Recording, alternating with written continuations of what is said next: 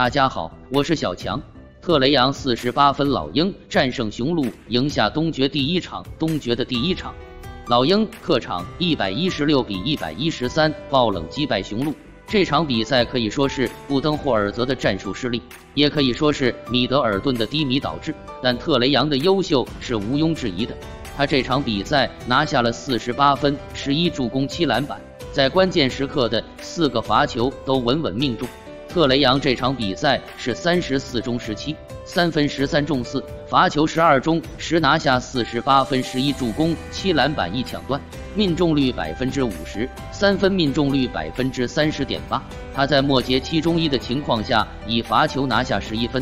有特雷杨的球迷在论坛中写道：“特雷杨四十八分，是否是当今联盟第一控卫？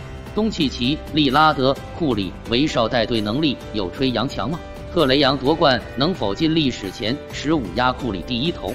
下方球迷的回复扎心凯文杜兰特，因为杜兰特东决次轮 G 五一战四十八分钟，二十三中十六，三分九中四，罚球十六中十三，拿下四十九分、十七篮板、十助攻、三抢断、二盖帽，命中率百分之六十九点六，三分命中率百分之四十四点四，逆转雄鹿拿下天王山。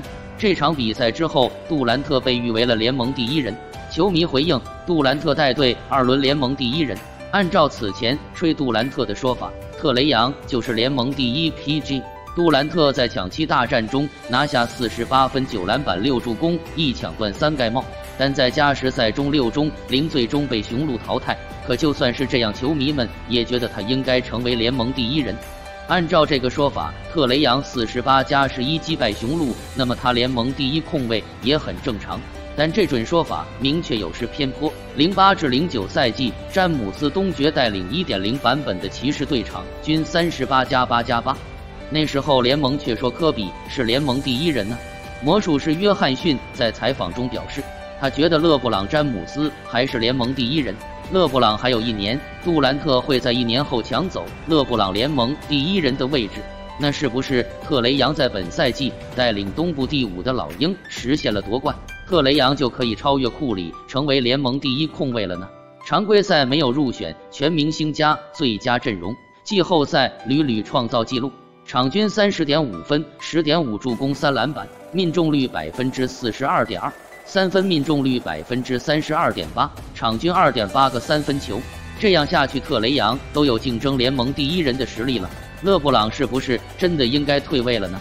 个人觉得，特雷杨成为联盟第一控卫还为时尚早，毕竟才二十二岁，今年的季后赛也还没打完。就算他夺冠了，就可以超越库里吗？库里的个人荣誉明显更加卓越。球迷力捧杜兰特是连第一人，是因为勒布朗老去了。联盟没有一个能像杜兰特那样得分的运动员了，都有些印象流了。文言小白，喜欢就点赞订阅支持我吧，谢谢。